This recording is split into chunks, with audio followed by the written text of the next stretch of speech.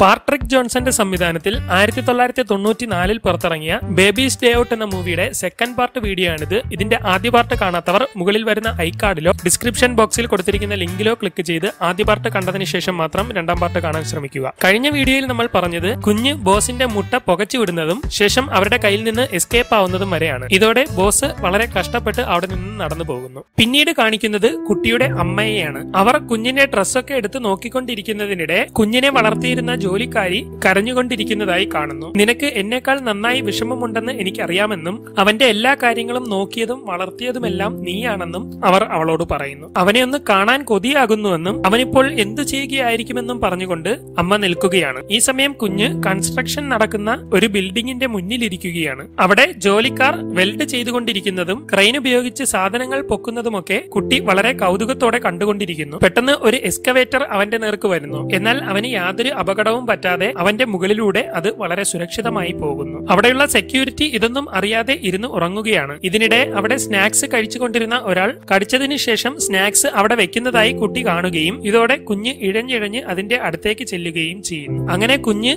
ആ സ്നാക്സ് വെച്ച കമ്പിയുടെ മുകളിൽ കയറുകയും ശേഷം അതെടുത്ത് കഴിക്കാൻ തുടങ്ങുകയും ചെയ്യുന്നു. ഇതിനിടെ കുഞ്ഞിനെ അന്വേഷിച്ചു വരുന്ന കള്ളന്മാരിൽ ഒരുവൻ കുഞ്ഞ് ഒരു കമ്പിയുടെ മുകളിൽ ഇരിക്കുന്നതായി കാണുകയും സെക്യൂരിറ്റി ഉറങ്ങുന്നത് കണ്ട് അവിടേക്ക് കയറാൻ ശ്രമിക്കുകയും ചെയ്യുന്നു. എന്നാൽ അപ്പോഴേക്കും ക്രെയിൻ ഉപയോഗിച്ച് കമ്പി പൊക്കുകയും കുഞ്ഞ് മുകളിലേക്ക് പൊങ്ങി പോവുകയും ചെയ്യുന്നു. ഇത് കണ്ട് അവന് എന്ത് ചെയ്യണമെന്നറിയാതെ നിൽക്കുകയാണ്. ഇതിനിടെ ബോസും മറ്റവനും അവിടേക്ക് വരുന്നതായി അവൻ കാണുകയും അവരുടെ അടുത്ത് ചെന്നതിന് ശേഷം ബോസിനോട് കുഞ്ഞ് മുകളിലേക്ക് പോയെന്ന് പറയുകയും ചെയ്യുന്നു. ഇതോടെ ബോസ് അതിൽ നിന്നും ഇറങ്ങിയ ശേഷം നീ അതിനെ കൊന്നോടാ മഹാഭാബി എന്ന് ചോദിക്കുകയും ചെയ്യുന്നു. അങ്ങനെ മുകളിലേക്ക് പോയെന്നല്ല ഒരു കമ്പിയിലിരുന്ന് മുകളിലേക്ക് പോയെന്നാണ് ഞാൻ ഉദ്ദേശിച്ചതെന്ന് അവൻ ബോസിനോട് പറയുന്നു. അങ്ങനെ അവർ മൂന്നുപേരും അവിടേക്ക് ചെല്ലുകയും കുഞ്ഞ് മുകളിലേക്ക് പോയിക്കൊണ്ടിരിക്കുന്നത് കണ്ട് ആകെ കിളിപോയി നിൽക്കുകയും ചെയ്യുന്നു. ഇതോടെ കുഞ്ഞിനെ എങ്ങനെയെങ്കിലും പിടിക്കാനായി അവർ അവിടേക്ക് ചെല്ലുകയും അവിടെയുള്ള ലിഫ്റ്റിൽ കയറി കുഞ്ഞിനെ തേടി മുകളിലേക്ക് പോവുകയും ചെയ്യുന്നു. കുഞ്ഞ് മുകളിലേക്ക് പോകുന്നതിനനുസരിച്ച് അവരും കൂടെ പോയിക്കൊണ്ടിരിക്കുകയാണ്. അങ്ങനെ കുഞ്ഞ് പോകുന്നതിനേക്കാൾ വേഗത്തിൽ അവർ മുകളിലെത്തുകയും ഇത്തവണ അതിനെ ഉറപ്പായും പിടിച്ചേ പറ്റുള്ളൂ എന്ന് അവർ പറയുകയും ചെയ്യുന്നു. അങ്ങനെ അവർ മൂന്നുപേരും അവിടെ ഇറങ്ങി കുഞ്ഞ് പൊങ്ങി വരാനായി കാത്തു നിൽക്കുകയാണ്. കുഞ്ഞ് അടുത്തെത്തിയാലുടൻ നീ അതിലേക്ക് ചാടി കുഞ്ഞിനെ എങ്ങനെയെങ്കിലും പിടിക്കണമെന്ന് ബോസ് അവനോട് പറയുന്നു. ഞാൻ ഒറ്റയ്ക്ക് അതിലേക്ക് ചാടി പിടിക്കാനോ എന്ന് അവൻ ചോദിക്കുന്നു. പിന്നെ നമ്മൾ മൂന്ന് പേരും കൂടെ അതിലേക്ക് എടുത്ത് ചാടാൻ പറ്റുമോ എന്ന് ബോസും ചോദിക്കുന്നു. അങ്ങനെ കുഞ്ഞടുത്തെത്തുമ്പോൾ ചാടാനായി അവനെ അവർ തയ്യാറാക്കി നിർത്തുന്നു. കുഞ്ഞ് വളരെ സന്തോഷത്തോടെ മുകളിലേക്ക് പൊങ്ങി വന്നുകൊണ്ടിരിക്കുകയാണ്. അങ്ങനെ കുഞ്ഞ് അടുത്തെത്തുകയും അവൻ ആ കമ്പിയിലേക്ക് ചാടുകയും ചെയ്യുന്നു. എന്നാൽ അവന്റെ വെയിറ്റ് കയറുന്നതോടെ കമ്പി ഒരു വശത്തേക്ക് ചരിയുകയും ഇതോടെ കുഞ്ഞ് നിരങ്ങി അവന്റെ അടുത്തേക്ക് വരാൻ തുടങ്ങുകയും ചെയ്യുന്നു. കുഞ്ഞ് നിരങ്ങി നേരെ വരികയും അവരുടെ മുന്നിലൂടെ താഴേക്ക് പോയ ലിഫ്റ്റിന് മുകളിൽ ചെന്നിരുന്ന് സുഖമായി താഴേക്ക് പോവുകയും ചെയ്യുന്നു. അത് താഴേക്ക് പോയത് കണ്ട് അവർ ആകെ മണ്ടന്മാരായി നിൽക്കുകയാണ്. ഈ സമയം കുട്ടിയെ പിടിക്കാൻ പോയവൻ തൂങ്ങിക്കിടന്നുകൊണ്ട് ബോസിനോട് സഹായിക്കാൻ വേണ്ടി വിളിച്ചുകൊണ്ടിരിക്കുന്നു. ഇതോടെ ബോസ് തന്റെ കൂടെയുള്ളവനോട് അവനെ എങ്ങനെയെങ്കിലും പിടിച്ച് വലിച്ച് അകത്തേക്ക് ഇടാൻ പറയുന്നു. അങ്ങനെ അവൻ അതിന് തയ്യാറായി നിൽക്കുകയും അവൻ അടുത്തെത്തുമ്പോൾ കയറി പിടിക്കുന്നതോടെ രണ്ടുപേരും അതിൽ തൂങ്ങിക്കിടക്കുകയും ചെയ്യുന്നു. ബോസ് അവിടെ മുകളിലേക്ക് കയറി വാടാ എന്ന് പറഞ്ഞുകൊണ്ട് അവിടെ തന്നെ നിൽക്കുകയാണ്. അവർ രണ്ടുപേരും താഴേക്ക് നോക്കി ഉറക്കെ നിലവിളിച്ചുകൊണ്ടിരിക്കുന്നു. ഇതിനിടെ ഒരുവന്റെ കൈ വിട്ടുപോവുകയും അവൻ നേരെ താഴേക്ക് പോവുകയും അവിടെയുള്ള ഒരു പലകയിൽ ചെന്ന് വീഴുകയും ചെയ്യുന്നു. കമ്പിയുടെ വെയിറ്റ് കുറയുന്നതോടെ അത് ആടി വരികയും അവൻ നേരെ ബോസിന്റെ മുകളിലേക്ക് വീഴുകയും ചെയ്യുന്നു. ശേഷം അവൻ കണ്ണു തുറന്നു നോക്കുമ്പോൾ ബോസിനെ കാണുന്നില്ല. അവൻ അണ്ണാ എന്ന് വിളിച്ചു നോക്കുമ്പോൾ മുകളിൽ നിന്ന് മാറടാന്ന് ബോസ് പറയുന്നു. ഈ സമയം കൊണ്ട് പലകയിൽ വീണവൻ അവിടെ നിന്നും പതിയെ എഴുന്നേറ്റി ഇരിക്കുന്നു. ഇതോടെ പലക മറിയുകയും അവൻ അവിടെ നിന്ന് നേരെ താഴേക്ക് പോവുകയും അവിടെ പൊങ്ങി വന്നിരുന്ന സിമന്റിനുള്ളിൽ ചെന്ന് വീഴുകയും ചെയ്യുന്നു. ഈ സമയം കൊണ്ട് കുഞ്ഞ് ലിഫ്റ്റിന് മുകളിൽ നിന്നും ഒരു ഫ്ലോറിലേക്ക് ഇറങ്ങുകയും അതുവഴി ഇഴഞ്ഞു നടക്കുകയും ചെയ്യുന്നു. ഈ സമയം ബോസും കൂടെയുള്ളവനും ലിഫ്റ്റിലൂടെ എങ്ങനെയെങ്കിലും കുഞ്ഞിനെ തേടി താഴേക്ക് പോകാൻ ശ്രമിക്കുകയാണ്. അങ്ങനെ താഴേക്ക് പോകുന്ന ഒരു ലിഫ്റ്റ് വരുന്നതായി അവർ കാണുകയും ഇതിനു മുകളിൽ നിന്ന് പോകാം റെഡിയായി നിൽക്കാൻ ബോസ് പറയുകയും ചെയ്യുന്നു. എന്നാൽ അതിനോടൊപ്പം അവർക്ക് ചാടാൻ കഴിയാതെ വരികയും ഇനി എടുത്ത് ചാടിക്കൊള്ളാൻ പറഞ്ഞുകൊണ്ട് ബോസ് അവന്റെ നേർക്ക് ഉറക്കെ അലറുകയും ചെയ്യുന്നു. ഇതോടെ അവൻ ലിഫ്റ്റിന് മുകളിലേക്ക് എടുത്തു ചാടുന്നു. എന്നാൽ അപ്പോഴേക്കും അവിടെ ലിഫ്റ്റ് നിൽക്കുകയും ചാടിയവൻ ലിഫ്റ്റിന് മുകളിൽ വന്ന് കുത്തിയിരിക്കുന്നത് പോലെ നിൽക്കുകയും ചെയ്യുന്നു. അല്പസമയം നിന്ന ശേഷം അതേ പൊസിഷനിൽ തന്നെ അവൻ പുറകിലേക്ക് വീഴുന്നു. ശേഷം അവൻ തിരിഞ്ഞു കിടന്ന് എഴുന്നേൽക്കാൻ ശ്രമിക്കുകയാണ്. ഇതിനിടെ ലിഫ്റ്റിൽ ആളുകൾ കയറുകയും അത് താഴേക്ക് പോവുകയും ചെയ്യുന്നു. ഇതോടെ അവൻ അവിടെ നിന്നും താഴേക്ക് വന്ന് ഒരു കമ്പിയിൽ തൂങ്ങുകയും ശേഷം അടുത്ത ഫ്ലോറിൽ വന്ന് മറിഞ്ഞു വീഴുകയും ചെയ്യുന്നു. ഇതിനിടെ താഴെയുള്ള അടുത്ത ലിഫ്റ്റ് മുകളിലേക്ക് വരികയും മറിഞ്ഞു കിടക്കുന്ന അവന്റെ തലയിൽ തൂക്കിയെടുത്ത് തൊട്ടപ്പുറത്തിരുന്ന ഡ്രോളിയിലേക്ക് കറക്കിയിടുകയും ചെയ്യുന്നു. ഇതോടെ അവൻ ആ ട്രോളിയിൽ ഇരുന്ന് ഉരുണ്ടു പോയിക്കൊണ്ടിരിക്കുകയാണ്. ഇതോടെ പതിയെ ബോധമൊക്കെ ക്ലിയർ ആകുന്ന അവൻ ആ ട്രോളിയിൽ എഴുന്നേറ്റ് നിൽക്കുന്നു. അപ്പോഴാണ് അവൻ ആ ട്രോളിയിൽ നിന്ന് നിരങ്ങി പോവുകയാണെന്ന് അവന് മനസ്സിലാകുന്നത്. ഈ സമയം കൊണ്ട് ട്രോളി അവിടെ ഇടിക്കുകയും അവൻ നേരെ താഴേക്ക് പോയി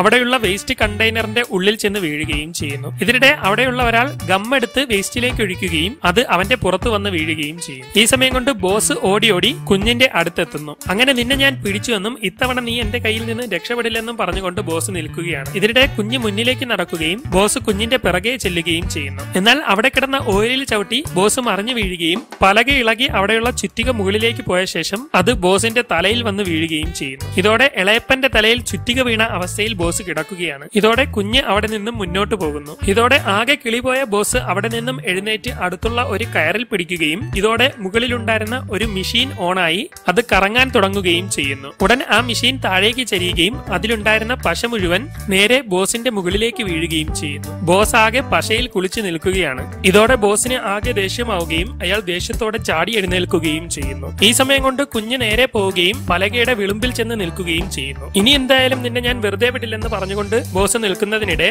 മുകളിൽ നിന്നും സാധനങ്ങൾ കൊണ്ടുപോയ ക്രെയിൻ കുഞ്ഞിന്റെ അടുത്തേക്ക് വരികയും കുഞ്ഞ് അതിലേക്ക് ചാടി കയറുകയും ചെയ്യുന്നു. വീണ്ടും എന്റെ കയ്യിൽ നിന്ന് വിട്ടുപോയേ എന്ന് പറഞ്ഞുകൊണ്ട് ബോസ് കുഞ്ഞിന്റെ അടുത്തേക്ക് ഓടി വരുമെങ്കിലും അപ്പോഴേക്കും കുഞ്ഞ് അവിടെ നിന്നും ദൂരത്തിൽ എത്തിയിരുന്നു. ഇതോടെ ബോസ് ദേഷ്യവും സങ്കടവും സഹിക്കാനാവാതെ കിടക്കുകയാണ്. ഇതിനിടെ ബോസ് എഴുന്നേറ്റ് നിന്ന് നോക്കുമ്പോൾ മറ്റൊരു ക്രെയിൻ താഴേക്ക് പോകുന്നതായി കാണുകയും ഇതിൽ കയറി കുഞ്ഞിന്റെ അടുത്ത് എത്താമെന്ന് പറഞ്ഞുകൊണ്ട് അതിലേക്ക് ചാടുകയും ചെയ്യുന്നു. എന്നാൽ അപ്പോഴേക്കും വൈകുന്നേരം ജോലി മതിയാക്കാനുള്ള അലാറം അടിക്കുകയും ഓപ്പറേറ്റർ ക്രെയിൻ ഓഫാക്കുകയും ചെയ്യുന്നു. അവിടെയുള്ള എല്ലാവരും മെഷീനുകളും സാധനങ്ങളും എല്ലാം ഓഫാക്കുകയും ജോലി മതിയാക്കി ക്രെയിൻ ഓപ്പറേറ്റർ ഉൾപ്പെടെ എല്ലാവരും അവിടെ നിന്നും പോകാനായി ഇറങ്ങുകയും ചെയ്യുന്നു. ഈ സമയം ബോസ് ക്രെയിനിൽ തൂങ്ങിക്കിടന്ന് ആടുകയാണ്. അയാൾ താഴേക്ക് നോക്കുമ്പോൾ പണിക്കാരെല്ലാം ജോലി മതിയാക്കി പോകുന്നതായി കാണുന്നു. ബോസ് താഴേക്ക് പോകാനായി ക്രെയിനിൽ തൂങ്ങിക്കിടന്ന് തുള്ളിക്കൊണ്ടിരിക്കുകയാണ്. ഇതിനിടെ അയാൾ നോക്കുമ്പോൾ കുഞ്ഞ് തറയിലൂടെ നടന്ന് അതിന്റെ വഴിക്ക് പോകുന്നതായി കാണുന്നു. അങ്ങനെ മറ്റൊരു വഴിയുമില്ലാതെ ബോസ് അന്ന് സൂര്യൻ അസ്തമിക്കുമ്പോഴും അവിടെ തന്നെ തൂങ്ങിക്കിടക്കുകയാണ്. ഇതിനിടെ അയാൾ നോക്കുമ്പോൾ താഴെ നിന്ന് അണ്ണാന്നൊരു വിളി കേൾക്കുന്നു. അയാൾ നോക്കുമ്പോൾ അവിടെ രണ്ട് പിച്ചക്കാർ വന്ന് നിൽക്കുകയാണ്. നിങ്ങളൊക്കെ ആരാണെന്ന് ബോസ് ചോദിക്കുമ്പോൾ ഒരുവൻ തൊപ്പിയൂരി കാണിക്കുകയും ഞാനാണ് നിങ്ങളുടെ കൂടെയുള്ള മുട്ടത്തലയൻ എന്ന് പറയുകയും ചെയ്യുന്നു. അപ്പൊ എനിക്ക് മാത്രമല്ല നിങ്ങൾക്കും അവൻ പണി തന്നല്ലേ എന്ന് ബോസ് ചോദിക്കുന്നു. പിന്നീട് കാണിക്കുന്നത് കുഞ്ഞിന്റെ വീട്ടിലാണ്. അവിടേക്ക് എഫ് ബി ഐ ഉദ്യോഗസ്ഥർ കയറി വരികയും ഇതുവരെയും ഞങ്ങൾക്ക് കുഞ്ഞിനെ കണ്ടെത്താൻ കഴിഞ്ഞിട്ടില്ലെന്നും എന്നാൽ ചില സ്ഥലങ്ങളിൽ കുഞ്ഞിനെ കണ്ടതായി ചിലർ പറഞ്ഞിട്ടുണ്ടെന്നും അയാൾ പറയുന്നു. ശേഷം കുഞ്ഞിനെ കണ്ട സ്ഥലങ്ങൾ അയാൾ വായിക്കാൻ തുടങ്ങുന്നു. ആദ്യം ബസ്സിലും പിന്നെ ഡിപ്പാർട്ട്മെന്റ് സ്റ്റോറിലും